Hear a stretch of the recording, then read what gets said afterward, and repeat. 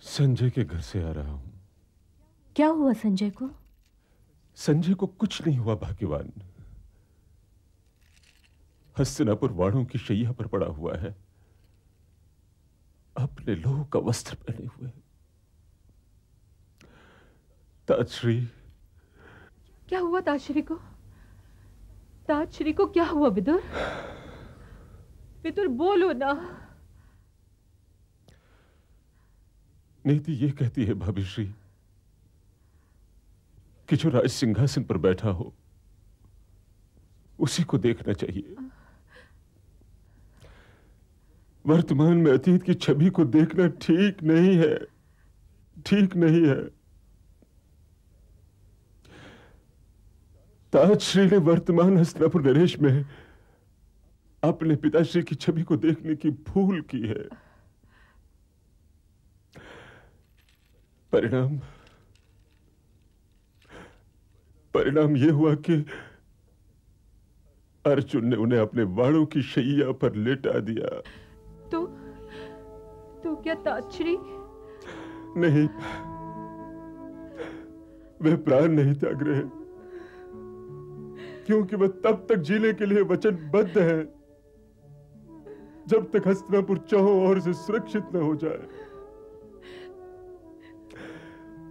उन्हें कुरुवंश के हरे भरे वृक्षों को कट के गिरना देखना पड़ेगा देखना पड़ेगा। और कदाचित कदाचित यही उनका प्रायश्चित भी है। क्या तुम उन्हें प्रणाम करने जाओगे फितुर मुझसे उनके घाव नहीं गिने जाएँगे, भाभी श्री। मुझसे उनके घाव नहीं गिने जाएँगे। मेरे ध्यान में जो उनकी छवि है,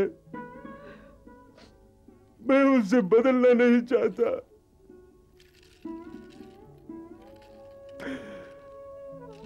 श्वेत वस्त्र श्वेत केश, श्वेत आत्मा। हे भविष्य उनका अंत भरत वंश के जीवन काल में श्वेत काल का अंत है, श्वेत काल का अंत है। ऐसे उजले चरित्र वाला महापुरुष अब कदाचित ही जन्म ले।